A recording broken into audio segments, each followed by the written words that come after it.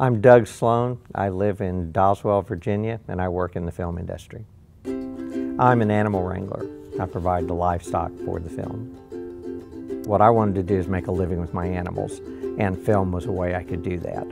And that was 30 years ago, so it's, it's been a while.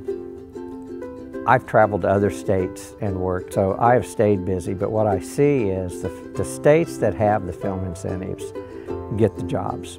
Before all the level playing field with all the states, Virginia was very active, and, and then the, they started giving film incentives elsewhere, and boy, we lost it. And what really hurt is we lost crew too, so that that hurt to entice people here. And once the Virginia has started back with their film incentive, uh, I've been able to, to stay home and work. My hay supplier, I do probably four times as much hay with him. Uh, my grain supplier, you know, it's the same with them. And for those guys, they're small businesses, and it's found money.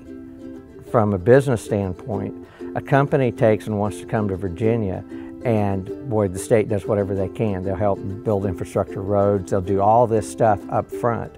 Whereas with the film incentive, they have to spend their money here first before they get a dime. And they have to prove that it was filmed here, or that it was spent here before they, they, they give a dime. I mean, I'm business-wise on, on you know, the, the film scale here, the, the small potatoes.